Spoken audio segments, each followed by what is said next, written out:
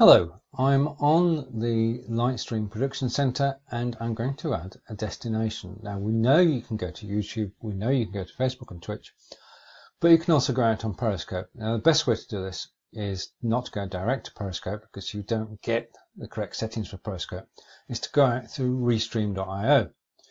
So I'm going to go down to RTMP and I'm going to add an RTMP source and then go to my restream.io dashboard. Now this is free and I'm going to take the RTMP server.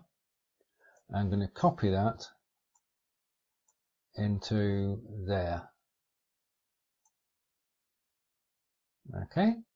And then the other thing I need from restream.io, make it visible, is my key. So I'm going to copy my key. I'm going to bring that into Lightstream as well. Okay, so I've now got both of those and I'm going to switch it off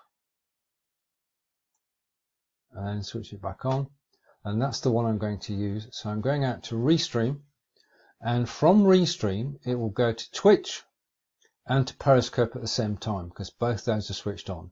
Equally well I could go out to YouTube at the same time. But all I've done is to take the two keys, the RTMP key and the stream key, and bring them into Lightstream, and I can go live. That's the theory. Let's see what happens. So I'm going live now, and I get a signal to restream.io, and I've taken the keys from there and I'm just going to go live and the theory behind this is I should be live on Twitter and live on Periscope at the same time. So let's see what happens when I go live. So I'm on a countdown now I'm waiting for uh, it to come back and to say that I'm live. Now this is going to take a few seconds because remember it's going from Lightstream to uh, going from Lightstream out to Restream.io and then from Restream.io out to Periscope. So I should be live on Restream.io. I've got a warning, but I know that it's going to go ahead and I can see the signal on the screen. And I can go to Periscope and uh, I'll be live there in a moment. If I refresh the screen, then it will come down and uh, there's my live feed. So I'm on Lightstream and this is on my desktop. I'm not on a mobile. I prefer desktop to mobile. And I'm going live uh, through Restream.io through to Periscope and hence onto Twitter. Now, Restream uh, means that even on Periscope, you now have some facilities. I'm just going to switch screens to actually show you what those facilities are. All right, so I'm switching screens and I'm going to send it to live and you should be able to see in a moment why I use Lightstream to broadcast on Facebook and YouTube. Imagine having up to eight people on screen on a Periscope broadcast.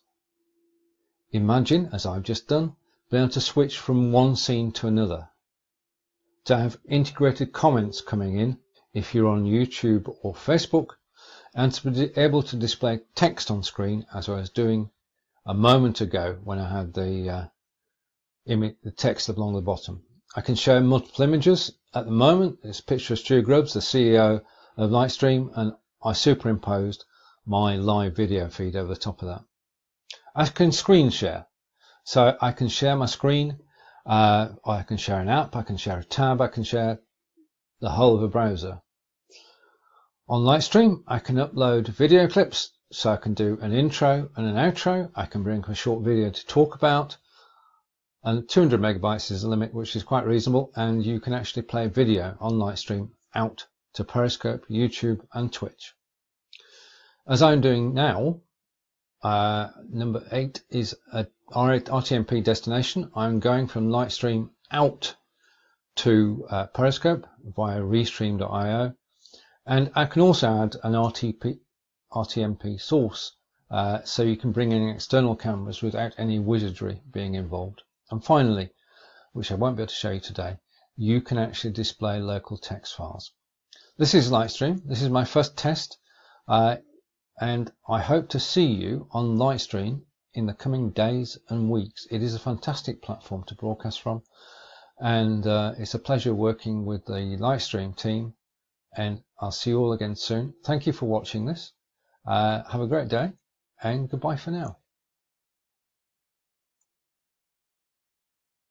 So that's the end of the broadcast as I come back to me. Um, and it is as simple and straightforward as that. You, just to recap, we connected using the keys from Restream. We then went out onto Periscope, and there's the Periscope stream just being uh, manipulated, and uh, my live is there. And then on Twitter, if I refresh, just to show that this has actually worked, if I refresh the screen, uh, there you are, live three minutes ago, and you can see in a moment that it was the screen on Lightstream going live to Twitter.